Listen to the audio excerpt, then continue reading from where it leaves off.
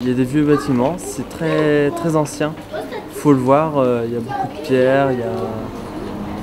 Comment. Euh, c'est très animé aussi. Voilà.